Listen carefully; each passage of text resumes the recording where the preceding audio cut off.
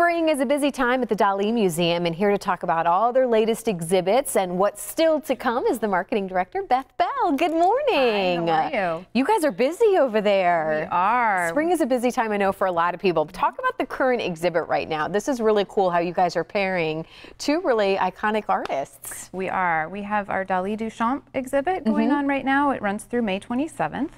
Um, it does exactly what you said, bring together two iconic artists of the 20th century. Marcel Duchamp, who is known as... Explain that, who he is, because I mean, he is iconic, but I think there's some of us that still need a little lesson. Sure. He's actually known as the father of conceptual art. So that's kind of um, uh, where the idea is just as important as the artwork Mm-hmm. itself. So um, there's a lot of conceptual art within the show, as well as other paintings before he went that route. And it's a really interesting pairing of the two because they had a friendship and they Mm-hmm. actually had very different um, walks of life and dif- different. Um, uh, artistic styles, but Mm-hmm. they actually had a very, um, a lot of shared interests and a great friendship. Yeah, pretty cool. Well, and when you look at his artwork too, I mean, it's kind of it makes you think, eh, It just does. as Dali's. It does. It will make you question, huh, Yeah. is this really art? And we, we've seen a lot of great feedback from our visitors. So Uh-huh.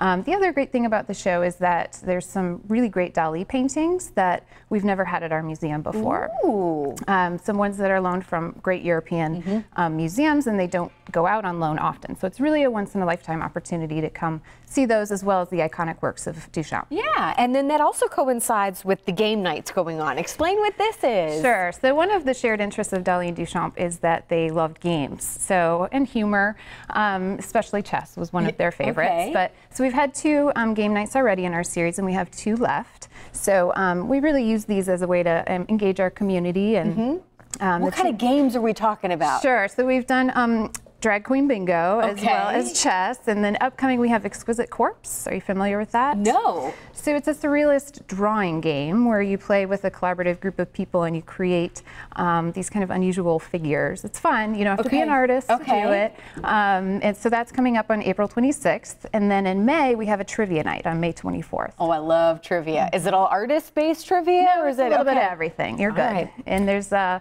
cash prizes, and it's only five bucks. So it's a really nice Oh, opportunity for nice. Community.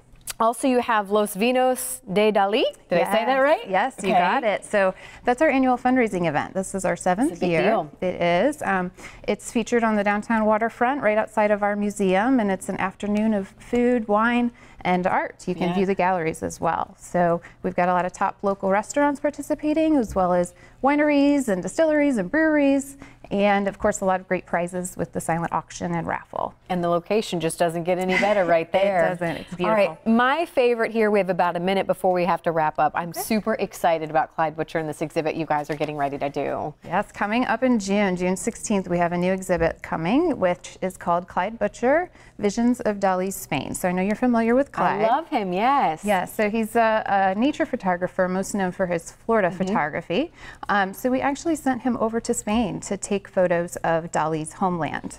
So he visited various parts of Spain where um, Dali grew up, where he summered, where he spent a lot of time, and he took these large-scale black and white photos, just like he does here in Florida, but of um, Dali's inspired homeland. I cannot wait. So that's going to be in June, correct? Yes. All right. June 16th it opens. Well, as we get ready to wrap up here, people, again, there's a lot going on. The website, I assume, is the best place to kind of figure out, get your calendar ready. Yes, the Dali.org. Yep. You can check out all the exhibits as well as purchase tickets for Vinos or any of the game nights. All right, Belle, thank you so much. We appreciate it. Thank you.